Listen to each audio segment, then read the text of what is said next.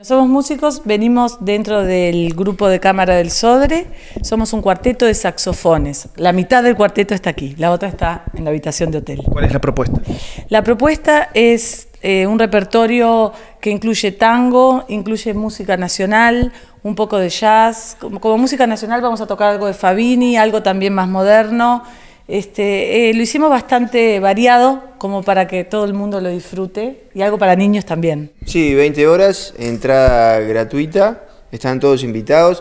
Es una propuesta diferente, hace años que estamos trabajando con un grupo de cámara así, que es el mismo instrumento, la misma familia, pero eh, cuatro tonos diferentes, desde el más grave hasta el más eh, agudo.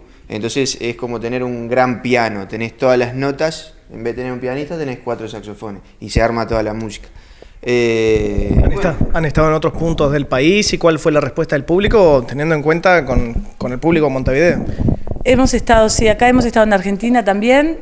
Nunca habíamos venido a Artigas, ninguno de los cuatro, y realmente estamos muy felices de estar acá. Cuando el Sodre nos dijo que el destino era Artigas, quedamos fascinados. De hecho íbamos a venir antes, pero mi papá se enfermó, lo tuvimos que posponer hasta ahora y estamos enloquecidos. El público siempre nos recibe con mucha alegría porque nosotros tratamos, por eso queremos que vengan, de hacerlo integrado al público. No es los músicos, los músicos acá, el público ahí. Conversamos, les vamos contando lo que tocamos, si surge un chiste lo hacemos. Este, es realmente lindo. Y para que entiendan un poco, ten, deberíamos tener el instrumento acá.